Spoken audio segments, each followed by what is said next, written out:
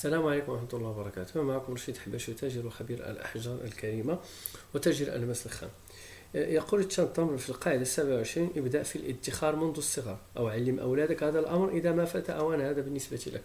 أه، في الحقيقة أنا لا أحب أحب فكرة الادخار بل أحب فكرة الاستثمار.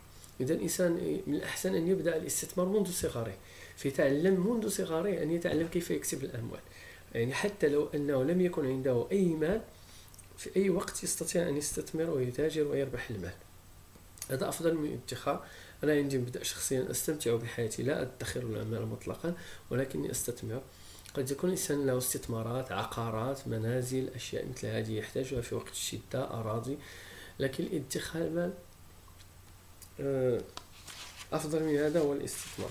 إذا كان هذا بخصوص قاعدة 27 لا تنسوا الضغط على ال like وال subscribe وإلى فيديو آخر والسلام عليكم.